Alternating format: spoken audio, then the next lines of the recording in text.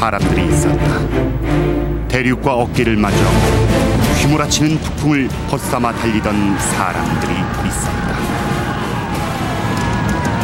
한 나라가 있었다. 떠나온 북방의 고향에서 그러했듯 거침없이 사방을 향해 나아간 나라.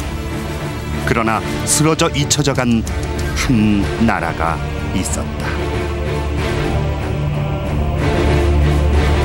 그리고 그 나라가 남긴 위대한 유물 백제 금동 대향로. 오랜 세월을 넘어 백제의 모습을 보여주는 이 향로엔 특별히 눈길을 끄는 것이 있다. 바로 다섯 명의 악사들.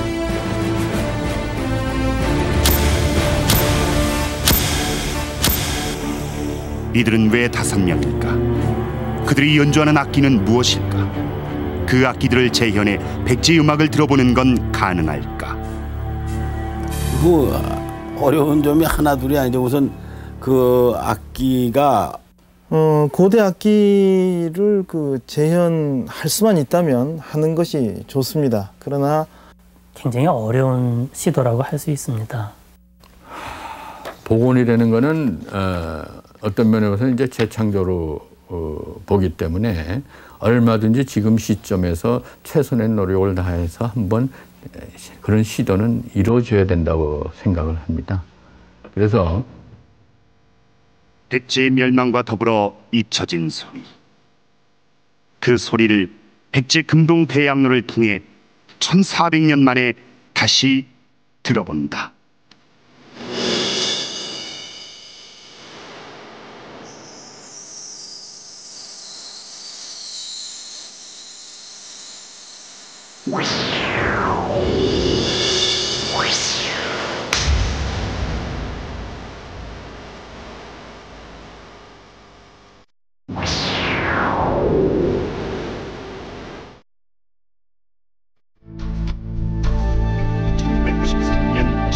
12월 12일 부여 능탄리 고분 이곳에서 온 나라를 놀라게 한 유물이 발견됐다. 지금으로부터 약 1400여 년 전 백제 왕실에서 사용된 것으로 추정되는 금동 대향로 높이 61.8cm 무게 11.85kg 향로로서는 예외적인 대작이었다.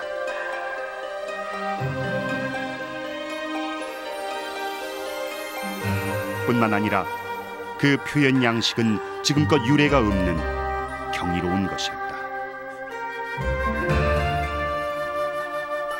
함께 모여 즐거이 연주를 하는 악사들. 그들 주위로 음악에 맞춰 춤을 추듯 논이는 기러기들. 그리고 수많은 산봉우리 사이로 보이는 기묘한 모습의 동물들과 사람들. 백제 금동 대양로는 그야말로 하나의 세계. 백제인들이 꿈꾸던 신비로운 세계를 담고 있었다.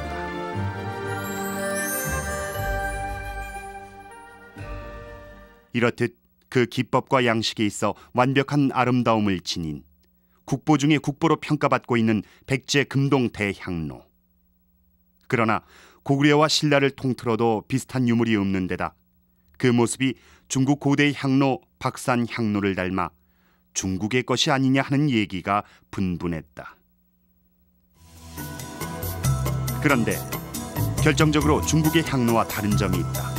바로 향로 상단에 자리한 다섯 마리의 기러기와 다섯 명의 악사.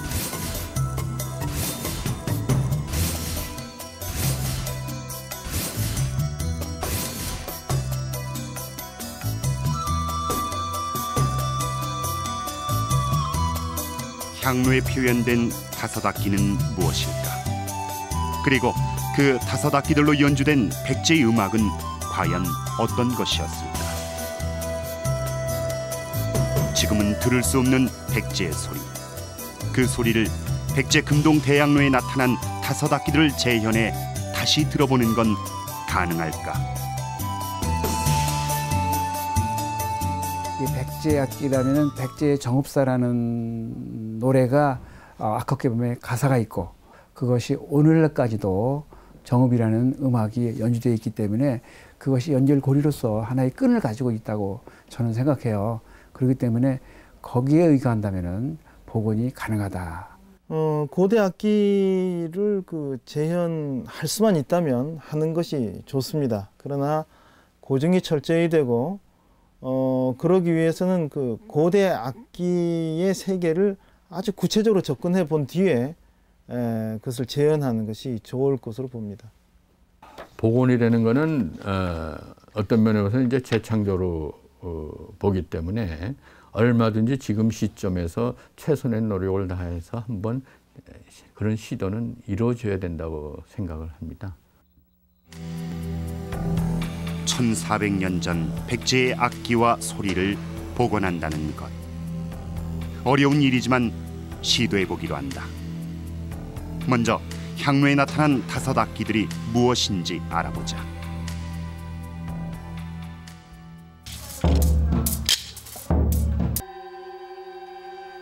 공자를 비롯한 유교의 여러 성인들 기리는 제례 석전.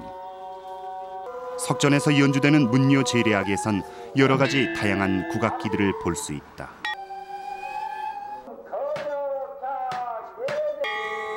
그러나 이 악기들 중에서도 백제 금동 대학로에 나타난 다섯 악기의 모습은 찾을 수 없었다. 그렇다면 악기들의 정체는 어디에서 찾아야 할까? 그 실마리는 한 석상에서 찾을 수 있었다. 기유명 전시 아미타불 삼존 석상. 충남 연기군 비암사 3층 석탑에서 발견된 이 석상은 백제가 멸망한 뒤 전시 성을 가진 백제 유민들에 의해 세워진 것으로 밝혀졌다. 석상에는 당시 백제에서 사용된 악기들이 새겨져 있는데 이 두 악기는 요고라 한다. 이것은 검은고 그리고 세로로 부는 관악기인 종적이다.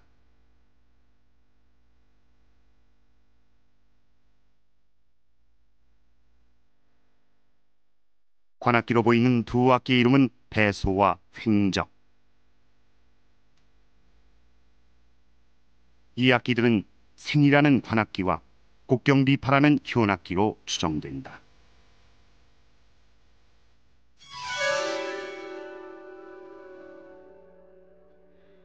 백제악기에 관한 또 다른 기록으론 삼국사기가 있다.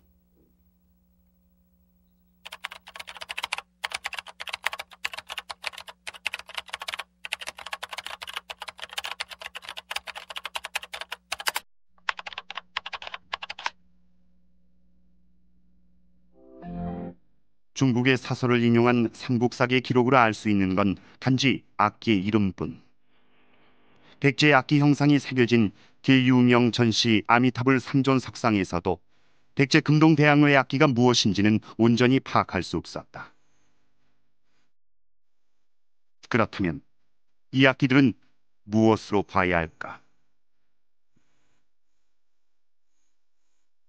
현악기는 제가 검은고와 완함으로 봤고 그 다음에 관악기는 배소하고 장소 그 다음에 타악기는 북 이렇게 다섯 악기로 저는 에, 보았습니다. 예, 저는 그 완함, 적, 배소, 북, 쟁으로 이렇게 보았습니다. 쟁이 지금 검은고일지도 모르겠다라는 생각을 좀 한번 해보는데 어, 제가 애초에는 제가 한번 쟁이로 생각했었는데 요즘엔 조금 더 폭넓게 한번 검은고일 가능성도 있다는 생각을 해보고 있습니다.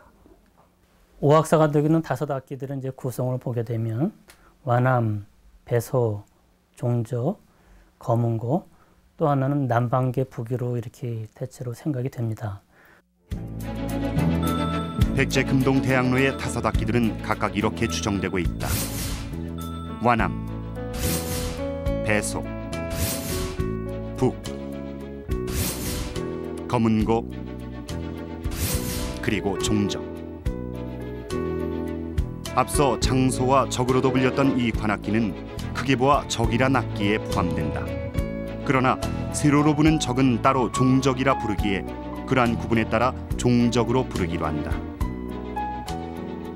또한 백제 금동 대학로를 소장하고 있는 국립부여박물관 역시 종적이란 이름을 공식 명칭으로 사용하고 있기 때문에 종적으로 결론 짓기로 한다.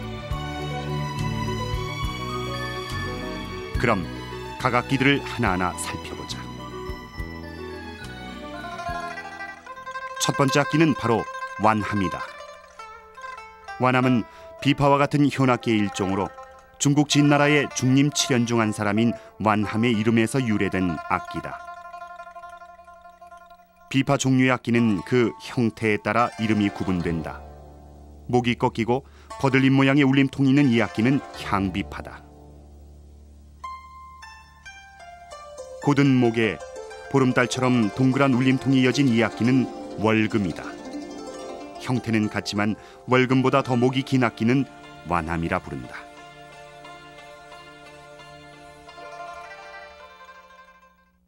국악기라 보기에는 낯선 느낌이 드는 완함. 그러나 1961년까지만 해도 완함과 비슷한 악기인 월금이 연주된 기록이 있다. 그래서 완함 역시 우리 음악을 연주하던 악기였을 가능성이 있다. 완함 옆에 자리한 악기는 종적이다.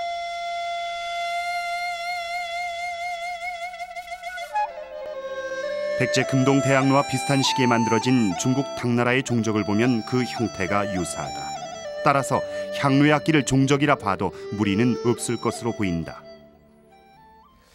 예, 뭐 적 종류가 아, 적 종류가 그러니까 적이라는 말은 그러니까 말하자면 종적, 횡적 하듯이 악기의 이름이라고보다는 그 악기의 범주 이름을 나타내는 거거든요. 그러니까 그 당시 악기 이름을 우리가 알 수가 없으니까 그냥 종적 이렇게 얘기를 했는데 종적 옆엔 또 다른 관악기 배소가 있다. 원래 배소의 모양은 사다리꼴이나 네모꼴의 형태였다. 오늘날의 배소는 변형된 모양이기 때문에 향로의 악기를 배소로 봐도 무방하다. 현이 새겨진 이 악기는 검은고다. 그런데 한 가지 의문이 있다. 고구려의 대표적인 악기인 검은고. 그 악기가 과연 백제에서도 연주됐을까? 백제의 왕실에서 활동하던 분들이 사실은 고구려의 후예란 말이죠. 그렇다면은 고구려에서 개발된 그 검은고가 백제에 와서 사용했을 가능성도 아주 높습니다. 쓰였으리라고 그 생각을 하는 거죠. 추측을 하는 거죠. 문헌에는 뭐 바로 뭐 검은고가 어, 기록되어 있는 것은 아니지만은 저는 어, 쓰였다고 확신을 합니다. 아, 우리나라 삼국사기 악지의 기록은 없지만은 일본의 그 어, 역사서를 보게 되면은 백제 악사들이 이 일본에 건너가서 가르쳐준 악기 중에 하나가 군우라는 악기가 있는데 군우라는 악기를 가르쳐준 백제 악사도 있고 똑같은 군우를 가르쳐준 고구려 악사도 어, 있습니다. 근데 그 군우라는 악기가 검은고로 밝혀졌어요. 그렇다면은 검은고가 고구려와 백제의 5세기경이나 6세기경에 이미 쓰였다고 봐야 되겠죠. 이 악기는 북으로 추정된다. 그런데 그 모양새가 참으로 독특하다. 무릎 위에 놓여 있다라고 생각한다면은 한 면만 북을 얹어는 이렇게 칠 수 있는 그런 북이 아닐까. 대신 동남아나 고대 그 인도에서 사용됐던 항아리 북과 가장 유사하다는 것을 이제 그 알게 됐습니다. 그렇게 보는 이유는 이 백제도형 내에 표현되어 있는 북이 일면북이라는 것. 오히려 남방 쪽이죠. 인도의 그 타블라 계통의 악기가 이 앞에다 놓고 연주를 하는데 그와 비슷하기 때문에 아 이거는 백제의 독특한 북이 아닌가 저는 그렇게 봤습니다. 백제 금동 대학로에 나타난 북과 가장 비슷한 악기로 추정된 동남아 계통의 북. 추측이 맞다면 당시 이 악기는 어떻게 백제에 등장한 것일까? 백제는 이제 그 동남아시아 지역하고 이제 어, 교류와 교육을 이제 가지고 있었던 것입니다. 가령 이제 일본석이라고 하는 일본의 역사책에 보면 이제 지금의 캄보디아인 분한국하고 교육을 한 그런 이제 기사가 나오고 있습니다. 어, 그리고 이제 백제 성황 때 겸익 스님은 해상 실크로드를 이용해서 중인도에 가서 불경을 직접 가지고 오기까지 했던 것입니다.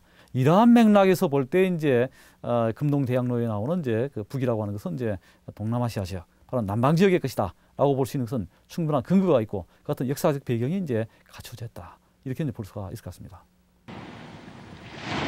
그 규류의 증거 중 하나로 무령왕릉에서 발굴된 유리 구슬이 있다.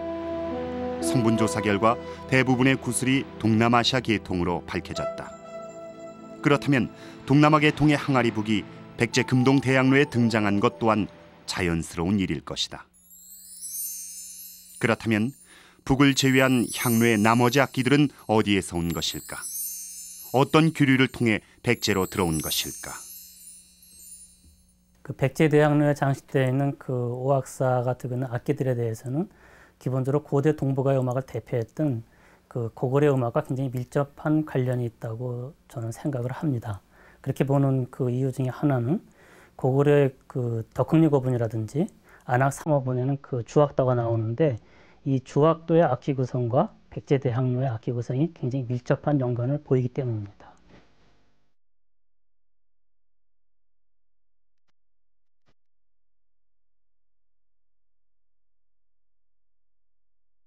황해남도 안악군에 위치한 안악사목. 고구려의 대표적인 고분 중 하나인 안악사모분은 벽화 연구로도 중요시되는 곳이다.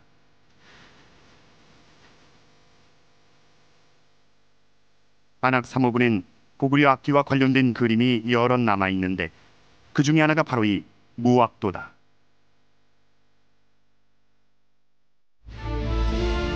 무악도에는 검은고, 완악, 그리고 적 종류의 악기인 장적이 표현돼 있다.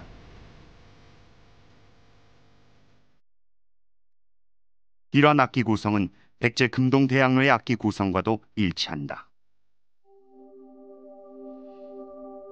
안악 사모분과 백제 금동대학로에 등장한 악기들의 공통점은 덕흥리 고분에서도 마찬가지로 나타난다.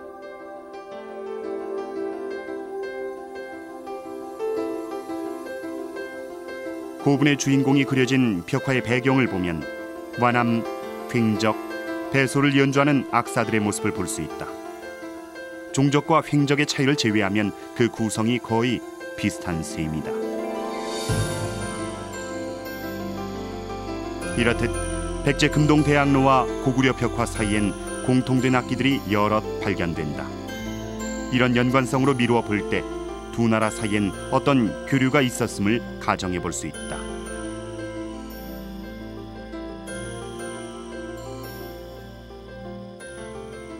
그런데 이런 교류의 가능성은 중앙아시아의 쿠차라는 지역까지 이어진다.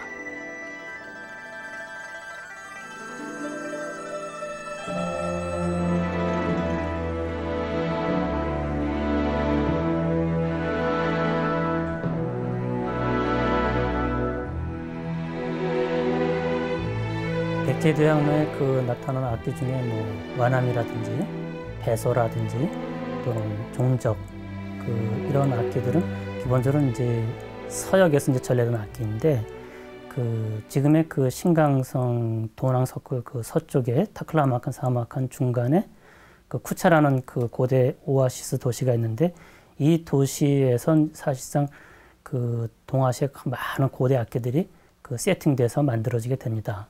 그래서 이제 완암이라든지 종적이라든지 이런 배소 같은 악기들이 거기에서 그 북방 민족들을 통해서 이제 고구려로 전래되고 다시 고구려에서 이 백제로 전래가 됐다고 이제 생각이 되는 거죠.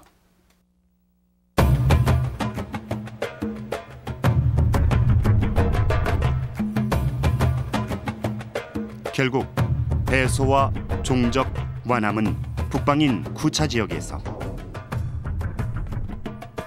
북은 남방인 인도, 동남아 지역에서 전래됐다고 할 수 있다. 그런데 여기 또 다른 의문이 있다. 향로의 악사, 기러기, 봉우리의 수는 모두 다섯이다. 그뿐만이 아니다. 향이 나오는 구멍 또한 안과 밖으로 모두 다섯 개씩 대응되게 만들었다. 그 이유는 무엇일까? 이 고대인들이 어떤 이제 어, 다섯 명의 악사를 그 이제 만든다든지 또는 다섯 개의 구멍을 이제 만든다든지 하는 데는 우연의 일치라고 이제 보기는 어렵고요. 어떤 의도가 있지 않았겠는가 이런 생각을 해볼 수가 있겠습니다. 저는 이게 고대 동북아의 오를 신성시했던 이런 것과 관련이 굉장히 있다고 생각이 되는데 우선 고구려에 보게 되면 그 관로부, 술로부, 열로부, 절로부, 뭐 계로부 이런 식으로 해서 이제 오부가 있었고 백제에도 역시 이제 오부라는 게 있었고요. 고구려에는 다섯 개의 큰 부족이 있었다. 부족의 세력은 후에 왕권이 신장되고 부족 제도가 무너지면서 오부 체제로 개편된다. 그러한 오부 체제는 중앙과 지방을 다섯 개의 부로 나누고 성안의 행정 구역도 다섯 개로 나누었다. 고구려와 뿌리를 같이 하는 백제 또한 국가의 체계를 다섯 개의 방으로 정비했다. 성안의 행정구역 또한 고구려와 마찬가지로 오부로 나뉘어졌다. 고대 그 문화에서는 이 수라고 하는 것이 각 민족이나 지역마다 조금씩 어떤 특징적인 어떤 수를 성수로 해서 그 신성한 해서 사용하는 그런 문화가 있는데 이 오라고 하는 것과 관련해서는 이 적성묘하고 굉장히 밀접한 관련이 있습니다. 고구려의 대표적인 무덤 양식인 적성묘. 적성묘는 피라미드, 지구라트와 비슷한 양식으로 주위에 돌로 기단을 다진 뒤 점점 안으로 들여쌓는 일종의 계단식 무덤이다. 사방에서 중심을 향하는 적성묘의 형태는 곧 동서남북과 함께 중앙이라는 또 하나의 공간을 인식하게 한다. 이 다섯 방위의 개념을 대표하게 된 것이 바로 5라는 숫자다. 그런데 이 오라고 하는 이 숫자라고 하는 것은 그 이 적성묘가 없는 문화에서는 나온 그런 그 문화권이 없어요. 그러니까 오직 이 적성묘가 있는 또는 피라미드가 있는 문화권에서만 이 오라고 하는 그 상징 체계가 그 등장하는 겁니다. 그래서 고구려의 적성묘 양식은 백제에서도 나타난다. 백제가 고구려에서 나와 지금의 서울의 도읍을 정했던 한성 백제 시절 당시 만들어진 석촌동의 적성묘를 보면 5라는 숫자의 상징 체계가 백제에도 그대로 이어졌음을 알 수 있다. 사실 그건 아마 이제 그 부여계통의 국가인 고구려나 백제의 어떤 천하관이랄까 이런 것하고 이제 연관되어서 이제 볼 수 있지 않겠는가 하는 생각을 가지게 됩니다. 우주의 중심에 이제 부여 왕이 이제 거처하고 있다. 또 이 부여에서 이제 분파된 고구려나 백제의 왕들이 이 세상의 중심에 자리 잡고 있다는 그런 천하관 또는 소우주관 속에서 이제 이 오라는 숫자가 가지고 있는 의미랄까 어, 이 성격을 이제 어, 규명해 볼 수도 있다라는 그런 생각을 어, 하게 됩니다. 그렇게 해서 백제 금동 대학로 또한 향이 나오는 구멍과 악사, 기록이 모두 5라는 숫자로 반복해 표현됐다.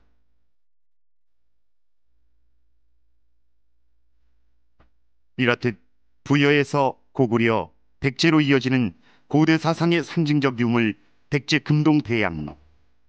그런 향로의 의미를 방송 사상 층으로 악기 재현을 통해 보다 구체화시켜 보기로 한다. 소역에서 들어왔기 때문에 이제 수리한 소역적인 그런 문양이 나타나는데 그래서 지금은 사라지고 없는 백제 악기들.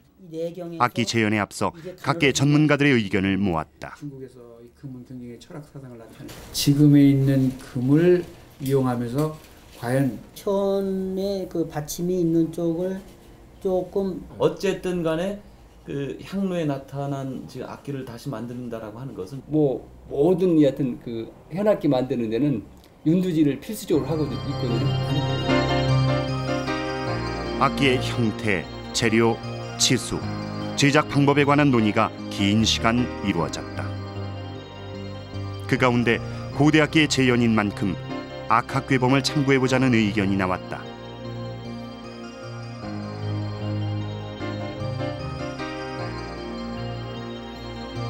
조선 성종 때 편찬된 이래 국악연구소로선 최고로 손꼽히는 악학괴범. 책에는 악기 형태와 재료, 부분별 치수, 제작 기법과 연주법까지 상세히 실려 있었다. 그중 백제 금동 대학로의 악기와 형태는 조금 다르지만 비슷한 악기가 몇 가지 실려 있어 그 내용을 참고했다. 먼저 현악기인 완암과 검은고를 살펴보자. 완암과 검은고의 주 재료는 나무로 확인됐다. 그렇다면 백제에서 쓰인 현악기의 나무 종류로는 어떤 것들이 있었을까?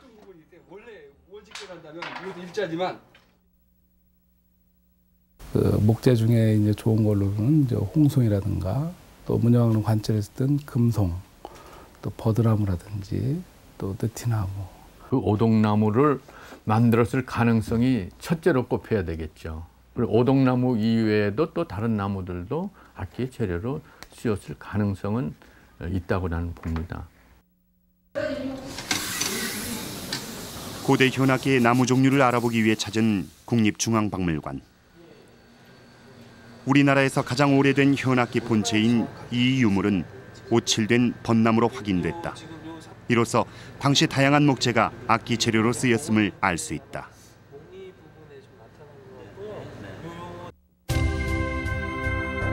그러면 악기의 치수는 어느 정도였을까? 전체적으로 모든 악기는 백제인의 체구가 현대인보다 작을 것으로 가정해 그에 맞게 치수를 설정했다. 검은고 역시 같은 기준을 적용했다. 160cm 정도의 신장을 기준으로 팔의 길이와 양팔의 너비를 환산해 악기 치수를 정했다.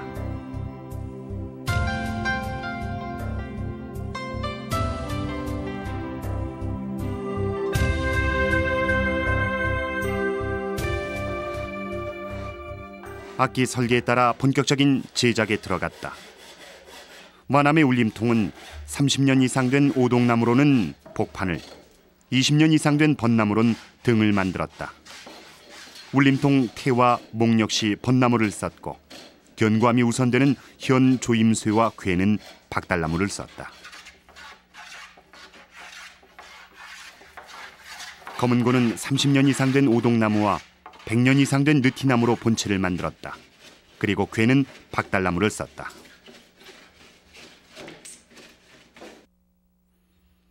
현재 관악기의 재료로 가장 많이 쓰이는 것은 대나무. 그렇다면 백제에서 연주되던 배소와 종적 또한 대나무로 만들었을까? 관악기는 어, 내가 알고 있기로는 어, 대나무가 어, 가장 좋은 재료가 아니었겠냐 삼국 시대에도 관악기야 뭐 우리나라에서는 지금 현재까지도 어, 대나무가 제일 많이 이제 쓰이는 거고요. 오늘날의 것과는 그 형태가 다른 백제 금동 대양로의 배소.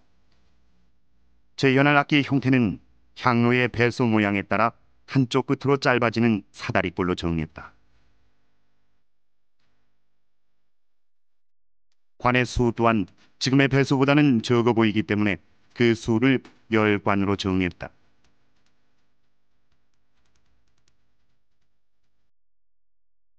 종적은 향후에 표현된 악기의 길이가 여느 적 종류의 악기보다 조금 긴 것을 감안해 평균치보다 길이를 늘렸다.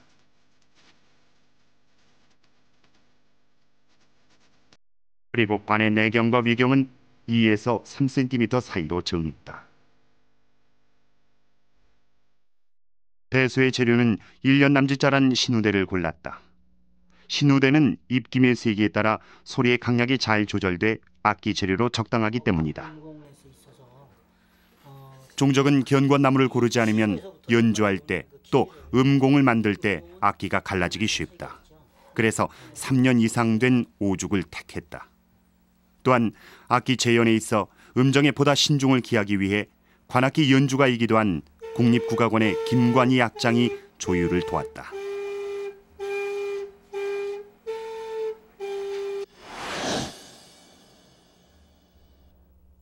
남방기에서 들여온 악기인 항아리 북. 그런데 의문이 있다. 항아리로 만든 타악기가 예전에도 있었을까? 실제로 그 저희들이 그 고고학적으로 보면은 그 발굴 조사를 해서 나온 그 장구 토기로 만든 그 장구 몸체가 확인되기도 하거든요. 그래서 그 토기로 만든 장구의 옆쪽에 그 빈 곳을 그 짐승의 가죽을 이용해서 북으로 사용하는 경우가 있습니다.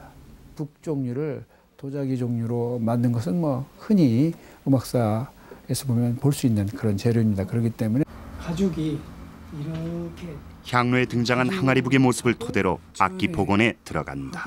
직경 차이가 상당히 심해요. 그- 그러니까 경사가 그 향로에 나타나 있는 인물상을 봤을 때 약 배꼽 선 넘지는 않을 것 같고요. 높이가 무릎에 양 무릎에 어, 무릎에서 약간 그 굽이 내려왔고 그 굽이 어, 양 무릎의 뼈 사이를 받쳐줘야 됩니다. 그러면 아래에서는 넓게 올라오다가 중간 부분에서는 예, 급하게 꺾이면서 완만한 경사를 이루고 그리고 어, 전 부분이 즉 주둥이 부분이 약간 어, 그 가죽을 걸 수 있을 만한 그 공간이 생기면서 다시 완만하게 어, 올라가는 항아리 북의 치수는 연주 자세를 통해 추정했다. 무릎 사이에 올려놓고 연주하기 편한 자세로 항아리 북의 둘레와 높이를 정하고 균형을 맞췄다.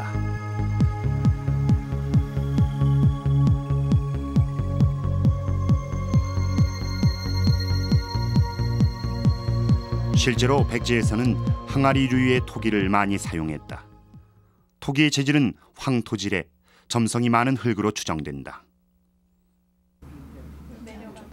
이런 단서를 근거로 항아리북 만들기에 들어갔다. 항아리 제작은 당시 백제의 물레 사용 여부가 명확하지 않기 때문에 순전히 수작업으로 이루어졌다.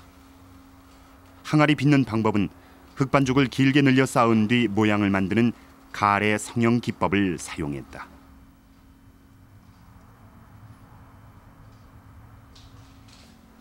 성형이 끝난 항아리는 그늘에서 충분히 말린 뒤 가마에 들어갔다.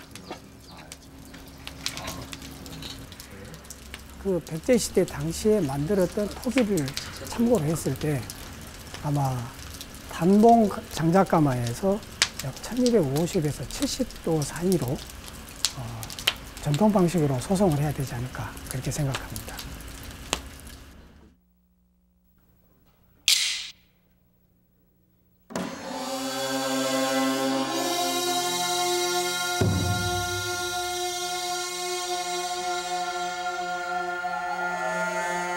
국악의 백미로 손꼽히는 수제천. 수제천은 다른 이름으로 정읍이라고도 불리는데 이 음악은 백제의 소리 정읍에서 유래됐다고 전한다.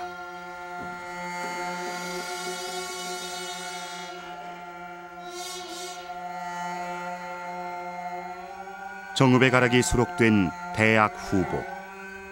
1759년에 편찬된 이 악보는 그러나 현재 연주되는 수제찬과 그 가락이 일치하지 않는다. 그렇다면 그보다 더욱 먼 시기인 백제의 소리가 지금의 수제천으로 온전히 계승됐다고 보기는 어렵다. 그러면 당시 백제 음악은 어떤 것이었을까? 부여나 고구려 그 백제 음악은 중국의 음악하고는 그 확실히 다른 점이 있는데요. 그 중국의 음악이 율려라고 해서 어떤 음악의 원리를 가지고 그 도량형이라든지 어떤 그 통치적인 원리로 이제 사용을 했던 반면에 그 동북아인들은 이 음악이라고 하는 것이 기본적으로 그 사람 간이나 또는 사람과 자연 간의 어떤 막힌 것을 풀고 소통하는 그런 이제 원리로 그 음악을 이해했던 것 같습니다.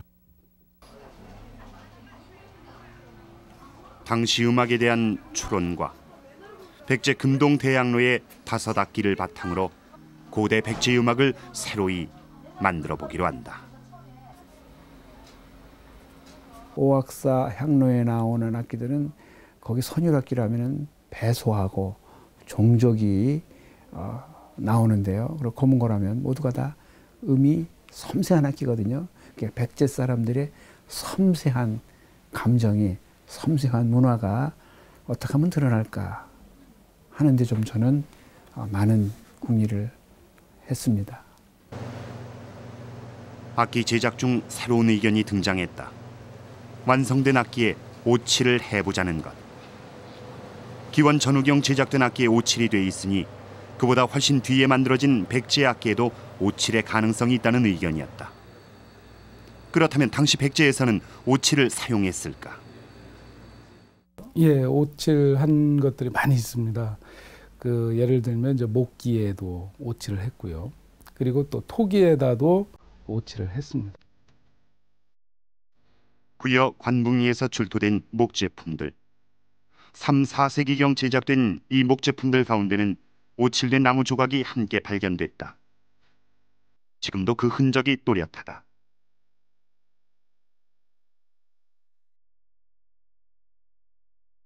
백제 금동 대학로가 발견된 등산이 유적에서도 오칠된 그릇들이 발견됐다. 이러한 유물들로 미루어 짐작할 때 백제에선 오칠이 널리 쓰였음을 알 수 있다.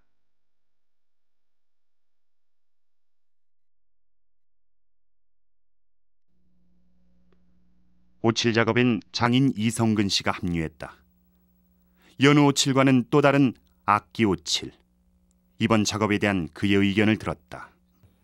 이제 제가 이제 하려고 하는 칠은 어, 온나무에서 채취하는 수액 그대로를 아무 뭐 어, 어 첨가제 없이 예, 배적 그러니까 우리 자연적으로 어, 자연직으로 되어 있는 그 어, 천, 배, 배와 아, 천연적인 옷으로 배적을 해가지고 또 우리 일반적인 흙, 황토흙, 고운 흙하고 또 오다고 또 이렇게 예, 적당량 배합해가지고 발라가면서 어, 잘 다듬은 다음에 이제 칠을 곱게 짜가지고 반복 작업을 어, 계속 해야만이 이게 곱게 나오는 거거든요.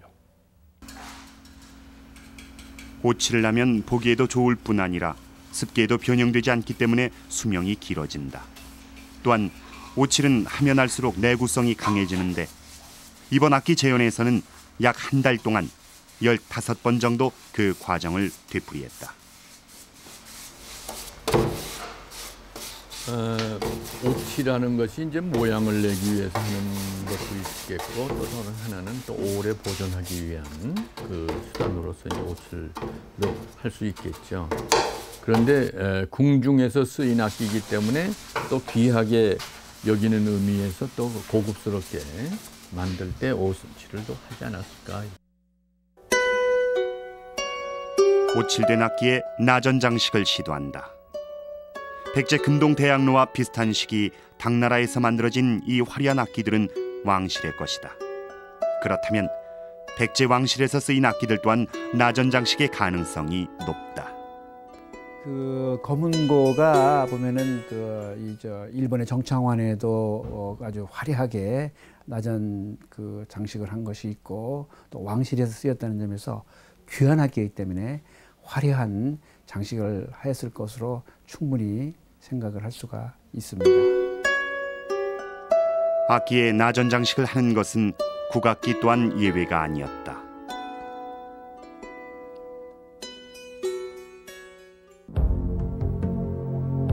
백제 금동 대양로에 등장한 악기에 나전 장식을 한다면 그 문양은 당연히 백제에서 찾아야 한다.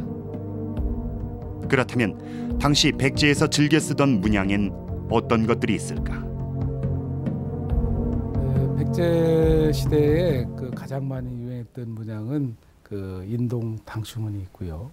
또 연꽃무늬, 또 구름무늬, 또 용무늬, 예, 봉황무늬. 좀 여러 문양들이 사용이 됐습니다. 백제 문양을 확인할 수 있는 유물론 우선 벽화가 있다. 백제 금동 대학로가 출토되기도 한 부여 능산리 고분. 이곳엔 연꽃과 흐르는 구름 무늬 그리고 백호가 보인다. 무령왕릉에선 연꽃 모양의 금장식이 출토됐다.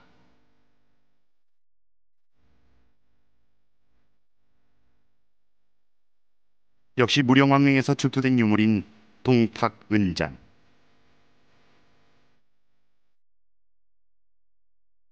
불과 16cm 높이밖에 되지 않는 이 자그마한 잔엔 수많은 문양들이 새겨져 있다. 그 가운데 연꽃 장식과 봉황무늬가 눈에 띈다.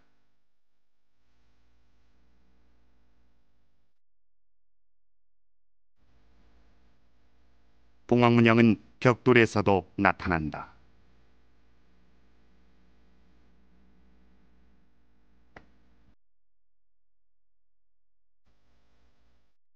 무령왕비의 팔받침에서는 백제에서 가장 많이 쓰였다는 인동문이 발견된다. 또한 백제 금동 대양에 새겨진 흐르는 구름문이 유운문 또한 백제의 문양으로 중요한 것 중 하나다.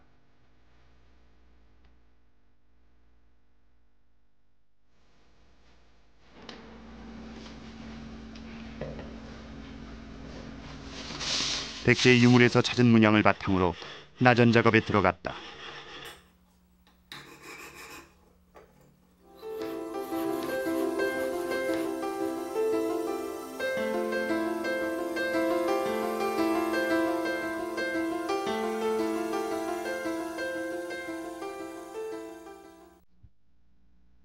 백제 금동 대향로, 오악사, 다섯 악기에 장식된 나전 문양.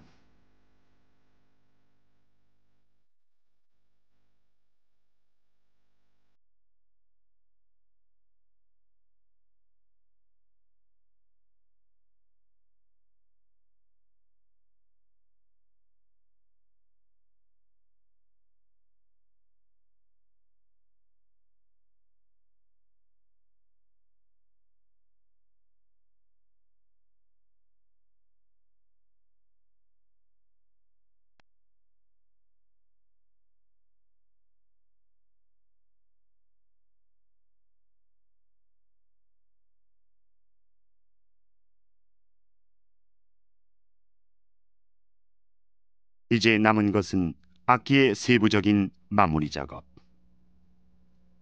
먼저 현악기에 줄을 건다. 그런데 당시 현의 재료는 무엇이었을까? 아, 현악기에서의 줄은 아, 제가 알고 있기로는 명주실이었을 가능성이 가장 높지 않을까 하는 생각이 듭니다. 예. 왜 그런가 하면은 이 명주실이라는 게 예, 굉장히 오랜 역사를 가지고 있고 또 어, 현재도 어, 우리 전통악기의 100%가 예, 양금을 제외한 현악기가 모두 명주실로 쓰고 있기 때문에 그 전통이 삼국시대까지 소구할 수 있지 않을까 저는 그렇게 봅니다. 검은고 현 작업에 들어갔다. 명주로 만든 현을 앞판에 올리고 부들과 함께 마무리를 짓는다. 완암 역시 명주로 만든 현을 걸어 조임수에 감았다.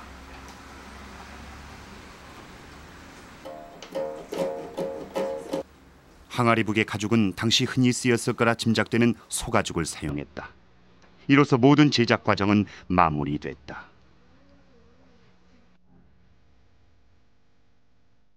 드디어 백제 금동 대양로의 다섯 악기가 최초로 복원됐다.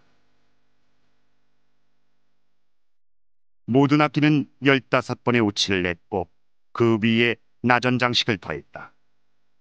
완암엔 봉황문양과 연꽃문양을 넣었고 효는 명주실로 네 줄을 걸었다.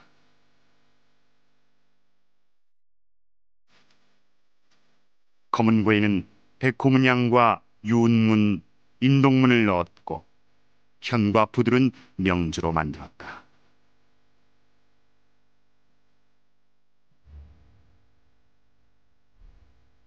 종적은 쥐구부터 지공 부분까지 인동문을 차례로 넣었다.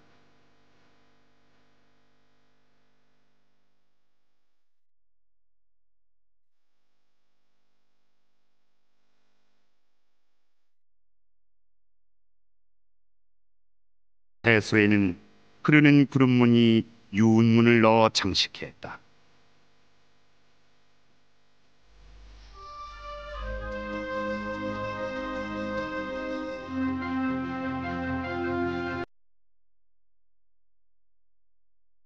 항아리 부분 연꽃 문양으로 주위를 둘렀다. 북과 북을 고정시키는 끈은 소가죽을 썼다.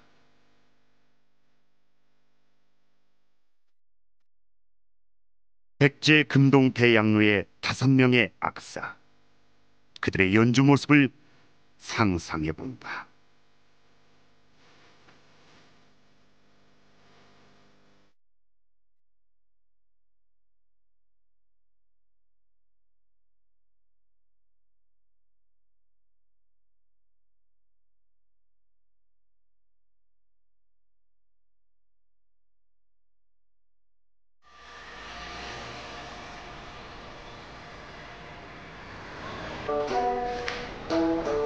악기 연주를 위해 국립국악원의 전문 연주자들이 모였다.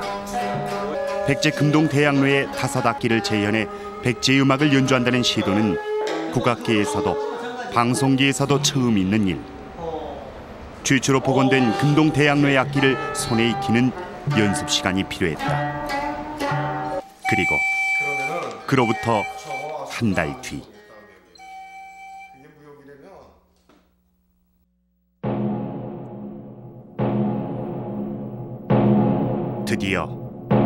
1400년의 세월을 넘어 백제의 소리를 만나본다. 그 소리는 어떤 소리일까?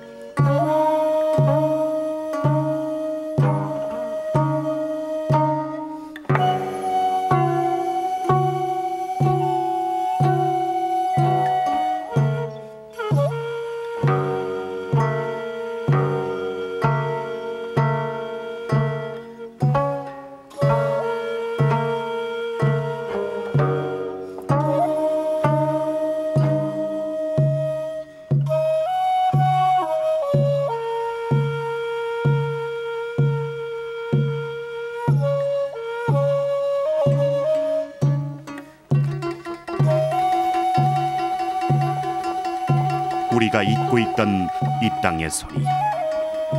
백제의 소리가 다시 울려 퍼진다. 각기 다른 악기들이 만들어내는 신비로운 어울림. 먼 옛날 그 시대를 살아가던 백제인들 역시 이런 조화를 꿈꾸었으리라. 오래전 사라졌던 백제인들의 꿈 그들의 이상이 지금 다시 펼쳐진다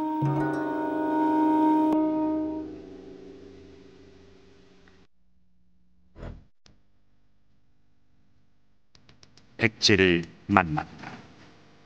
우리가 잊고 있던 사람들. 이 땅을 먼저 살아갔던 이들을 만났다.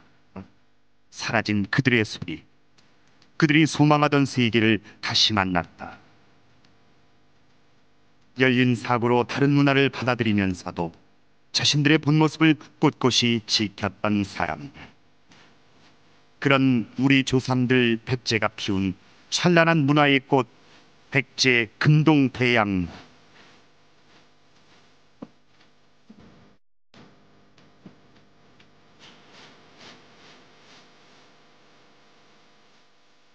천사백 년 세월을 넘어선 백제의 소리 음악의 어울림으로 세상을 조화롭게 하려 했던 백제를 되돌아보고 또 되돌아본다.